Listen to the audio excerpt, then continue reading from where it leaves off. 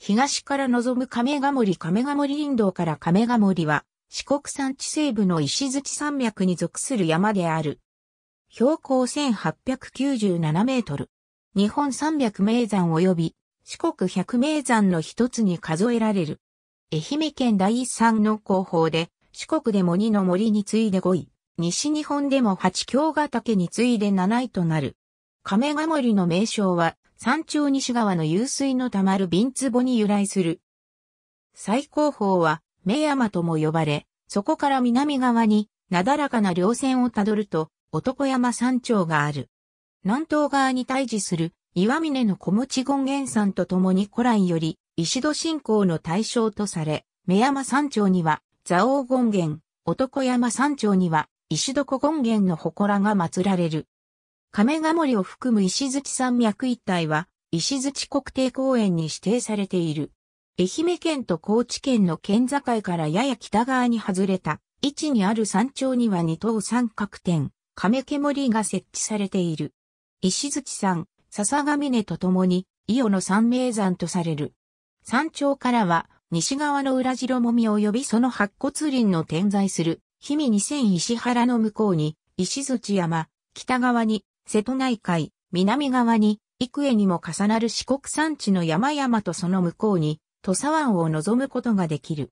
氷見二千石原は、隆起順平原の残留物とみられる西側に、傾斜した笹原の平坦地で、半世時代に二千国の国高であった山麓の最上氷見のように広いことから名付けられた。亀ヶ森は吉野川の源流域にあたり、直下の亀ヶ森林道沿いに吉野川源流の石踏みがある。西明天皇の頃、東山頂から北方向に下った中原にそびえる竜王山に役の行者は小森修行をしていると阿弥陀三尊が出現、ついには石戸蔵大大権現を監督した。その後、竜王山から約 0.5km 下った平地に天下寺を創建した。天平9年料金によって東山頂に石土山が解散され、天平商法5年には、薫元によって熊野権現が勘定され、東山絶頂にて宮床と称した。天下寺はその別当として、東廃の拠点として流星した。天長5年には、今の石槌山未線にも、東山から勘定された。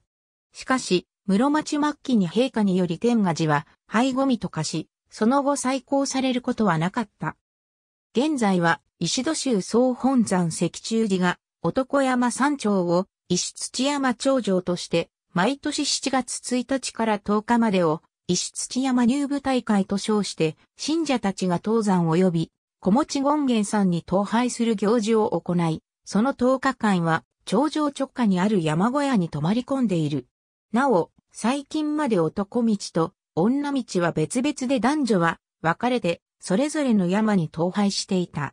亀ヶ森林道沿いから登るのが最も気軽な登山となり、大駐車場があり、ここから約40分で男山頂上、さらに稜線を約30分たどれば、目山頂上へ至る。氷見二千石原の中を通って、直接に目山へ至る道は、約40分もあれば行ける。しかし、最上市の石槌登山ロープウェイより、数百メートル奥の西の川から、鳥越岩を経るルート及び、東の川から生島新道を経て登るルートが本来の登山道である。また、東の川より北側の勝負峠を経由する登山道も2010年9月現在は廃道となっているので注意が必要。瓶壺へは亀ヶ森林道駐車場から西の川の方向へ約 1km である。山頂の氷見2000石原にあった白石小屋は廃業となっている。標高1677メートル。ありがとうございます。